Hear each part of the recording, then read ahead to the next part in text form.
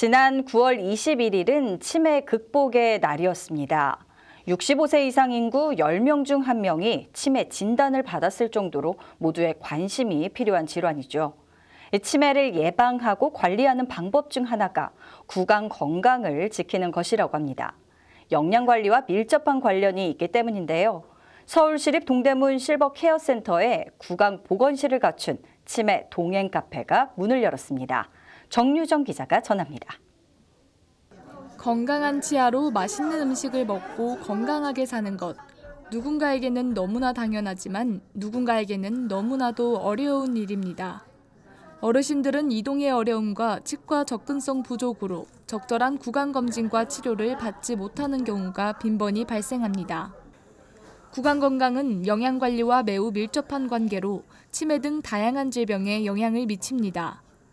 이에 치매 관리의 중요성을 알리기 위해 제정된 9월 21일 치매 극복의 날을 하루 앞두고 국내 최초 치매 동행 카페 1호점과 구강 보건실이 서울시립 동대문 실버케어센터에 문을 열었습니다. 예, 우리 서울시립 동대문 실버케어센터에 구강 보건실이 설치가 되어 가지고 그 우리 입원한 환자들의 치아를 좀 더 건강하게 만들어 드릴 수 있게 돼서 입원한 환자들이 건강을 누리는데 큰 도움이 안 되겠나 싶어서 매우 보람되고 기쁘게 생각합니다. 치매 동행 카페에서는 치매 환자와 그 가족분들을 모시고 함께 차를 마시며 대화와 상담을 하고 환자와 가족분들에 대한 정서적 지지의 중요성을 재확인할 수 있는 시간을 마련합니다. 또한 카페 내 설치되는 구강 보건실은 치과 의료진이 치과 진료와 구강 관리를 제공합니다.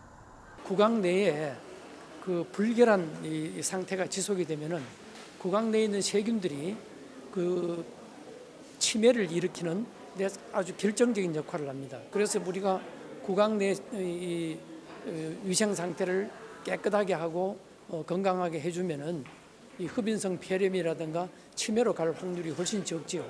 그러니까 노인들의 어, 말하자면 어, 건강이 좋아지고 오히려 어, 나중에 치료비도 상당히 절감되는 그런 효과를 가져올 수 있다고 생각이 듭니다. 치매 환자와 가족들은 편안한 환경에서 소통하고 구강 관리와 식사 관리에 통합적인 지원을 받습니다. 전국적으로 더 많은 치매 동행 카페가 설치되면 치매 환자와 가족들의 삶의 질을 크게 향상시킬 수 있으며 국가적으로 의료비 절감에도 기여할 것으로 기대감을 모으고 있습니다. 저희들이 1호점이기 때문에 더 뜻깊은 예, 자리인 것 같고요. 향후 제가 보았을 때 저희들이 서울 시립이잖아요. 앞으로 시립 계속적으로 2호점, 3호점 그렇게 계속 할 것으로 이제 믿고 싶습니다. 복지TV 뉴스 정유정입니다.